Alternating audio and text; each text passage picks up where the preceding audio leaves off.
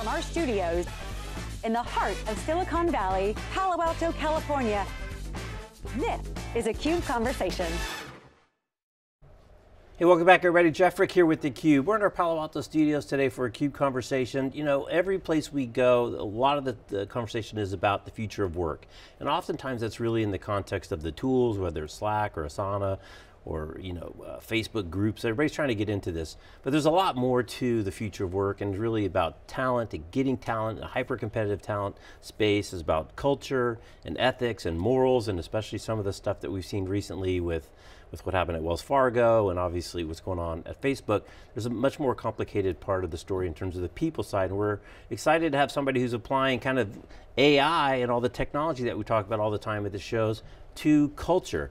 Uh, and so for the first time, I'd like to uh, welcome Mitch uh, Gudgeon. He is the co-founder and CEO of Talent Fit AI. Mitch, great to see you. Hey, nice to see you, Jeff. Thanks for having me here today. Absolutely. So before we get into it, because a lot of fun stuff, just give people kind of the, the quick overview of of what you what you guys are all about at Talent Fit AI. Yeah, definitely. So we make it easy to find the right person for the for your context, so your culture of your organization. Basically, we take an evidence-based approach uh, to calibrating your culture and then quantifying culture fit. So you actually reduce bias from the hiring process, uh, at least through the phases that we take you through, um, and then ultimately you end up saving time, energy, money, uh, hiring and retaining the right people. So it's both the culture at the company and then it's the culture for the applicant and trying to make a match. Yeah, basically matching their ideal culture, so what they want to get, their sort of fundamental values, their needs, the norms that they have, and then matching that to what the company actually has in, internally, uh, not what's necessarily like written on the wall for Right, I was going to say, yeah. I would imagine the first uh, big point of conversation, went, so you do like a culture assessment uh, at a company, uh, do you come at it from the company point of view or more from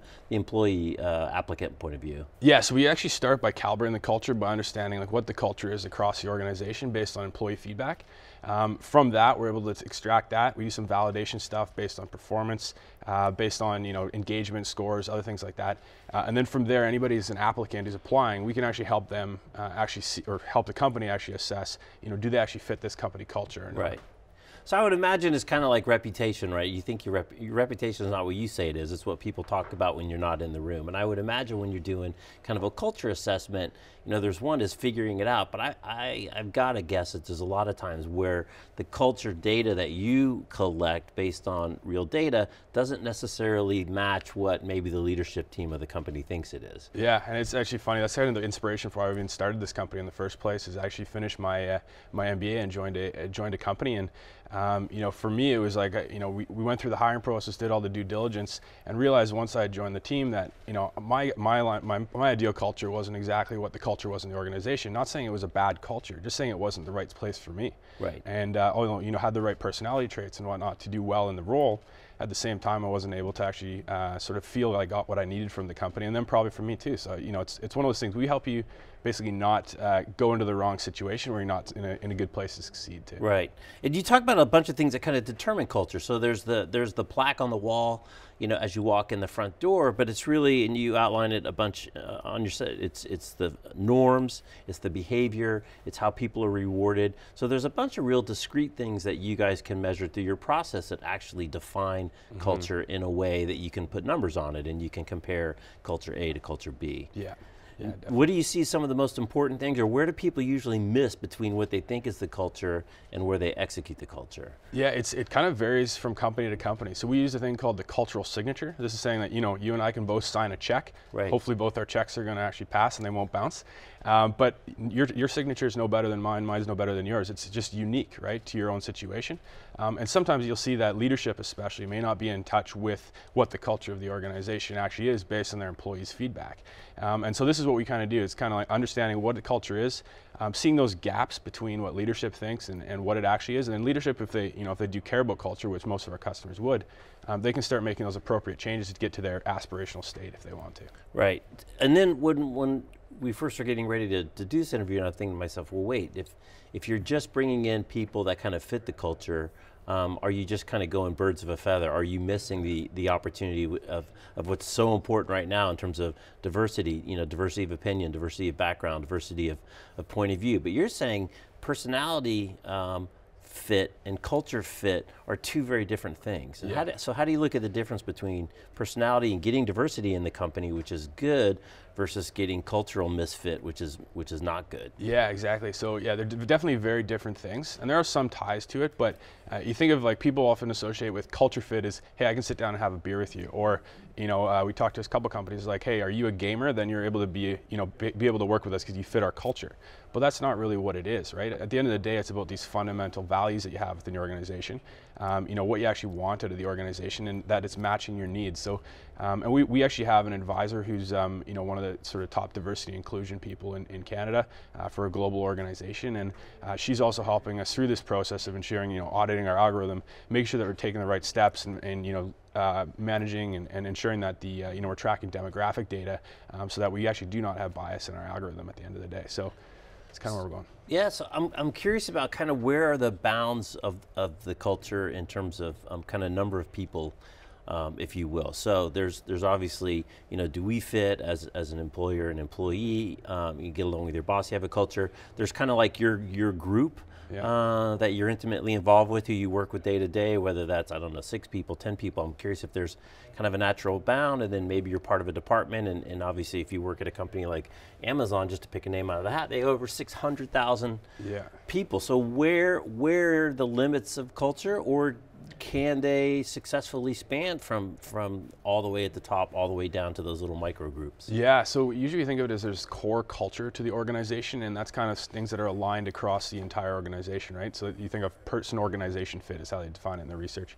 Um, you get into like things like person group fit. So this could be the specific team you work on um, and there's also cultures with these subcultures in the team. So the way we've built our algorithm is actually taking uh, and being inspired by pieces of research that actually look at group fit, look at organization fit, um, and then be able to match people effectively, sort of both of those.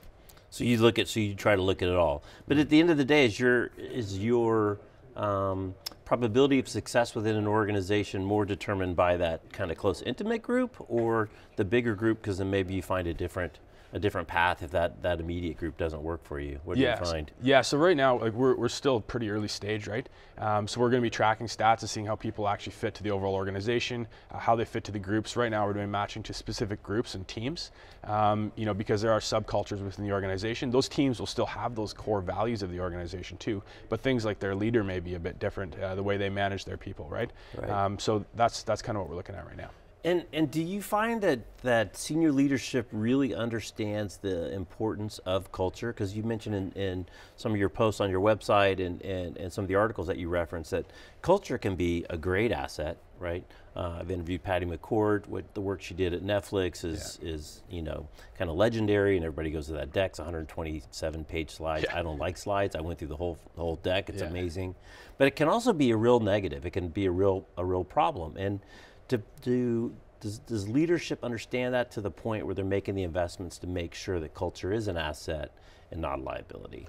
Yeah, and I think it's changing a lot. I think it used to be leadership kind of set the direction and you kind of had to listen to what was going on and you had to sort of abide by the rules of the culture and if you didn't, you're kind of gone. Um, you know, I think that's shifting a lot because people are more attracted to organizations that they they know they fit the culture, they feel they align with the culture. They're more uh, likely to accept job offers. They're likely to actually take a pay cut. Even a lot of the research is showing. Um, so I think those are those are factors that are coming to the equation now, and, and companies are realizing that um, if we want to attract the top talent, great everybody can pay x amount of money right for a candidate to join now at the same time if you're if you're being recruited by five different firms and they're all offering the same pay what's your differentiator right? And so culture can be a differentiator, and people, and, and especially leaders, I think, are realizing it can be a competitive advantage, right? Uh, it's going back to, um, uh, you know, this whole the whole top, talk of like, you know, culture eats strategy for breakfast, right? Right. Um, and I think that's an important thing to think about is that companies, I think, are buying into that more than ever now. Right. Too. But it, but but ultimately, it's about execution, right? Mm-hmm. You gotta you gotta execute it. You gotta walk the walk and yeah. and talk the talk. And and clearly, when it works well, it works really well. And one of the examples we use around here, just because it's so easy and in your face, is the is the Warriors, right? Perennial losing organization, uh, lose, lose, lose, lose, lose. Uh, they get a change at the top before you know it. You know they're the they're the premier kind of brand in the NBA right now, and yeah. that's really been top down, driven by Joe Lacob all the way down to the players. Yeah. Um, but I wonder, is it more of a stick or more of a carrot? Is it is it because employers now have to do this because of the employment market is so tight? Is it because they're trying to get you know the younger kids who are coming out of school who are much more mission driven than maybe I was when I got out of school. I just want to get a job and get going, mm-hmm. or or are they really thinking more holistically, kind of lifetime value of that employment relationship with these people? I think it's a bit of both, to be honest. I think they, they obviously see the benefit from the, hey, we can attract the top people here, but they also see the business benefit of it now too, right? Um, and I think that's the one thing that, um, you know, is often forgotten in the past. And I, I, love the example of the Warriors, right? And I think this is one thing that, um, eh, you know, kind of like the, the, you know, the, the, the whole is greater than the sum of the parts is another, you know, I like using these kind of right, phrases, right? right. Uh, but the, the Warriors is a great example because they have, you know, five A players, you know, on their team, if you want to call them A players and um, you know they're able to work together for the most part. Although earlier this season, you know they had some issues with their culture, and if you probably look at the winning record there, it was actually pretty it was pretty low probably during those times when they're having issues internally. Um, so I think it's one of those things you can also help um, players even level up. So it's like you don't have to recruit that A player every time. You can actually make a B player on the right team that they fit into turn into this kind of A player in that situation in that context. Yeah last question before I let you go, because I think it's another kind of interesting, interesting thing that's happening is this blurring between you know kind of professional life and and, and your regular life. Mm -hmm. And you know we've seen it with hours, right? Nobody's working eight to five anymore because you've got meetings with Europe, you got meetings with Asia Pacific, you got meetings with the East Coast from here. So people are on and off their the meetings all the time. You're on and off your phone. You're getting Slack notifications, you yeah. know, all, all, through the day. Um, and at the same time, people want, you know, their employees to be engaged and feel part of that. Mm -hmm. um, they want them to, you know, retweet the company line, but they won't necessarily give them the rights to retweet in the name of the company. So, how do you see? you know, kind of the motivation of people in this blurring between professional and personal life, mm -hmm. and yet, you know, companies want employees that are bought in, that are uh, you know kind of emotionally vested yeah. into this mission-driven culture. Is yeah. see more conflict there? Is it is it working, or what should people be thinking about? Yeah, I think it really comes down to what people want at the end of the day too, right? If you don't want to be in you know tapped in all the time, then then you probably don't want to fit with that. You're probably not going to fit with that kind of organizational culture. And there's lots of other companies out there that maybe not like that, uh, for instance. Um, so I think it's uh, yeah, I think it's one of those things you really just have to understand like what what is it, what do you value as an individual, uh, what does a company's value, and then how, how do those things align for you? And uh, you know, do you want to be on your phone 24/7, or um, or do you want to and have the flexibility, you know, to be able to you know take holidays when you want, or do you want that nine to five job that's you know more structured? And so what we're doing is giving that transparency to both the job seeker and the company now to say like, hey, is it a fit right up front? And if it is, okay, let's start taking you through the hiring process. And then if you don't, that's okay with us because you know we're both not going to benefit from this. This is a two-sided street, right? Right. Um, so it's it's building that transparency and, and helping people find the place that they'll ideally match with. Right. Well, Mitch, it's a really interesting story, and we didn't really talk about deep into the into AI, but you guys are using you know big science and, and, and big data to try to basically increase the probability of success because a miss is expensive for both sides. Yes, yeah, it's really costly, right? It's uh, you know some of the estimates can be uh, up to three times salary is what it costs when you make a bad hire. Uh, companies, I think it was like 85% of companies say they've made a bad hire in the last year. Um, and from the job seeker side, it's like they're more, you know, they're more likely to accept job offers, um, even at lower pay from companies that they feel they align with the, the values of the organization. And it would be pretty nice now to be able to say like, hey, you actually align and the data shows this too. Right, right. This is all based in based in top tier research right. too. All right, Mitchell. Thanks for uh, for sharing your story. We'll keep an eye as you as yeah. you keep growing, and uh, and best of luck to you and the team. Awesome. Thanks, Jeff. Really uh, appreciate having me today. All right, he's yeah. Mitch. I'm Jeff. You're watching the Cube. We're at our Palo Alto studios. Thanks for watching. We'll see you next time.